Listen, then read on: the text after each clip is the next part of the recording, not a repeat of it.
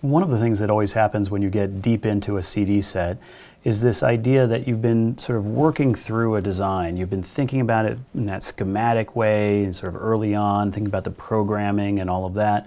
And then eventually you're getting into sort of more detail, really understanding what the materiality is through design development. And, and then you're getting into all the other levels of information like, uh, you know, how does the egress system work and how does the roofing system work and how, what are these sort of big system ideas and how are they going to relate to everything and how are they going to work together.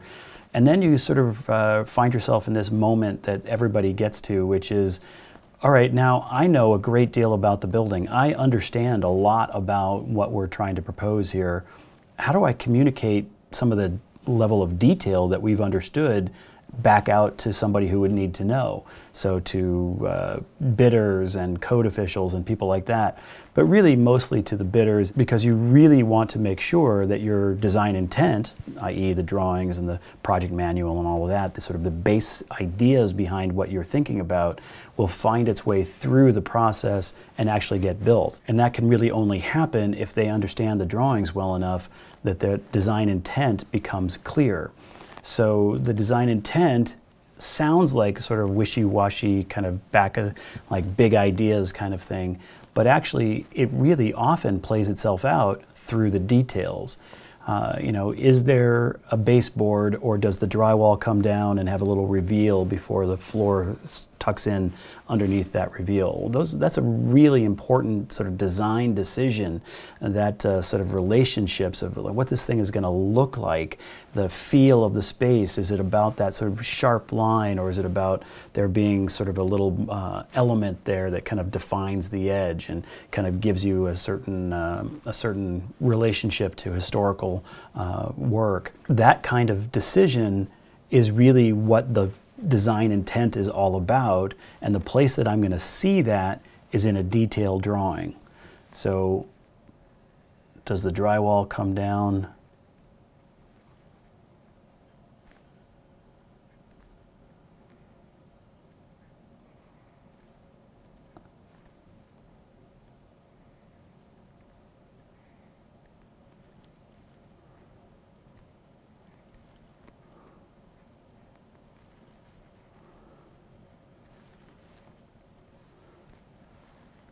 And look something like that, where I have this little reveal here.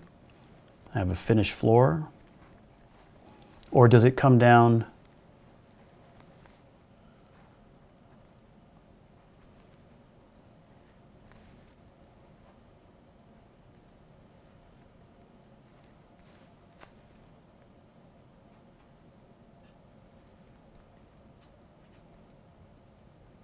like that?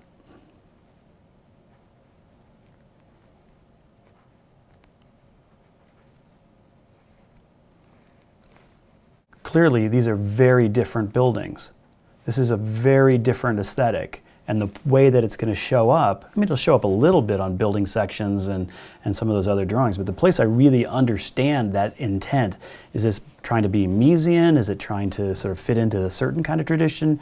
Is it trying to look like a standard building or a historic building?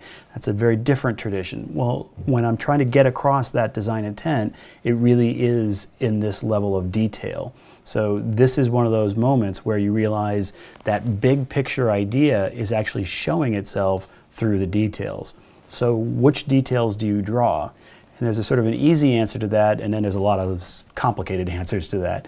Um, but the easy answer is there's sort of two basic ideas about which details I'm going to draw typically on a set of drawings. So the two basic answers are one, is it emblematic? So something like what we just drew here, if I drew that detail so that you would talk about this little reveal, that little, maybe that's a half inch reveal, three quarter inch reveal, something like that down at the bottom uh, of that uh, wall system. If I draw that in such a way that people could infer quite a number of other sets of relationships, well, then that's an emblematic one, right? That it would be a, a, spot where we're just choosing an idea here. We're not saying this is something that's happening in this particular place. We're saying this is happening in a bunch of different places. And probably in some places it's a little different because that's where it's running into a door. And probably in some places it's a little different because it has a different uh, floor finish that might be slightly different. Maybe in another place it uh, meets up with a control joint and has a little bit of a difference. But all of those differences would be sort of inferable from this emblematic idea that you kind of get across what the point is of the set of relationships. Uh, that you're not trying to show every single possible uh, variation, you're just trying to show enough information that somebody could infer a bunch of other details uh, from what this one looks like. And then the other example would be something that's very specific. So you can imagine a situation where I'm sort of thinking about it, I'm trying to show a bunch of information, I've thought through a bunch of ideas about how uh, something's going to work, and then you realize, you know, there is no place that this is really described. This is not uh, something, and maybe it shows up on a, on a section or on a floor plan or something, but it just has a simple note pointing to it. It doesn't really explain what's going on. Well, then that's a detail that needs to be drawn if you can't infer it from other information, from the plans, from the sections, from some other detail, well, then you really need to draw that detail. You have to be able to give enough uh, information, enough tools for the people that need to be able to read the drawings, to be able to go through them and make logical sets of choices about what it is you're trying to get across. Uh, so if it doesn't show up anywhere else and if it's not easily understood from other details, well, then you probably do need to draw that detail. So those are the two basic types of uh, decisions that you're making when you're drawing details on a CD set. One, is it emblematic? Does it uh, tell us about a whole range of different uh, sets of relationships? Because we could look at it and just understand what it is we mean, and therefore we could imagine similar situations at the ceiling, at the wall edge, at all kinds of other sort of examples. Uh, or is it something that's super specific and that it really doesn't show up anywhere else and therefore you need to draw it because this is the only way that that information is going to get across. So those are the two basic reasons why you choose which details to do. It would be nice to be able to do all the details. It would be nice to get detailed everywhere.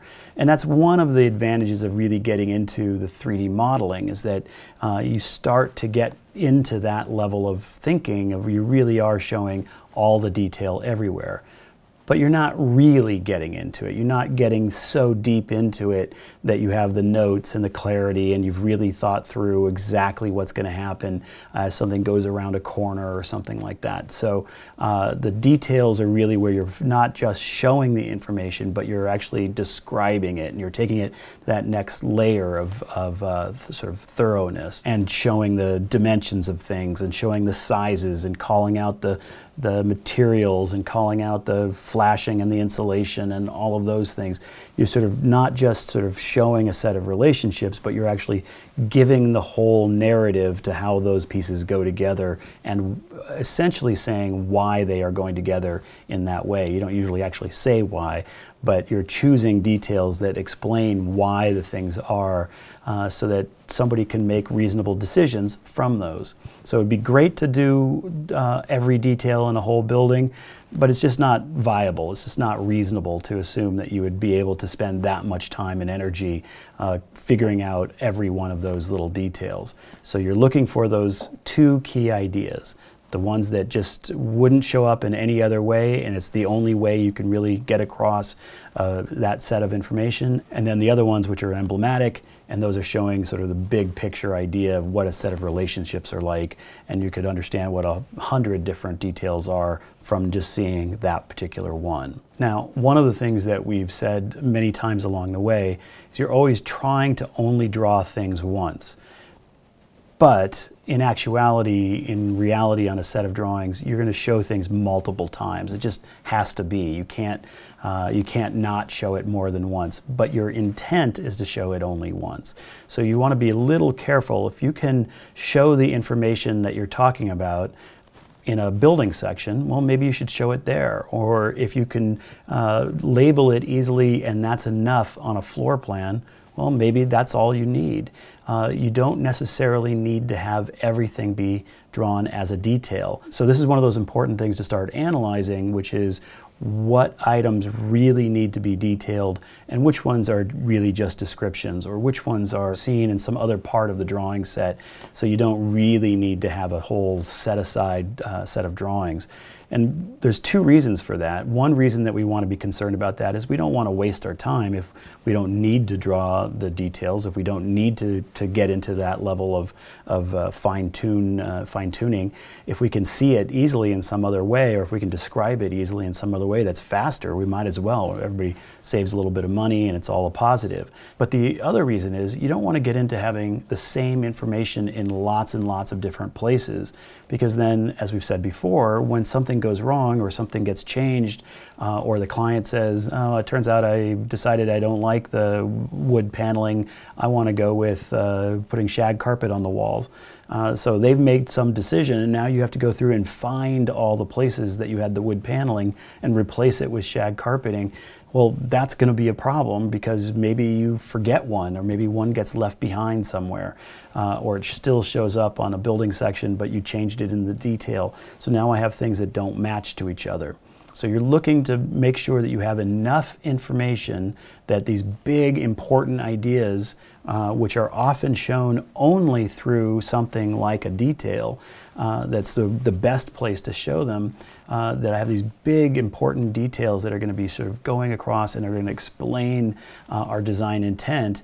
But if I'm trying to show too many different things, I can actually make it worse for myself because I create a situation where partly uh, the big idea starts getting a little diluted and gets lost because you start not realizing which of the 30 details that we drew are actually the important ones, but also just that opportunity to make a mistake uh, becomes more and more present uh, every time I have an extra drawing uh, in the set. So uh, you're trying to keep the details to a sort of reasonable number because you want there to be enough information that people can understand what your design intent really is all about, but not so much that you're potentially creating trip hazards for yourself down the road when something starts to change, and inevitably things will start to change. So, two basic ways of thinking about detailing the emblematic ones and then the super specific ones.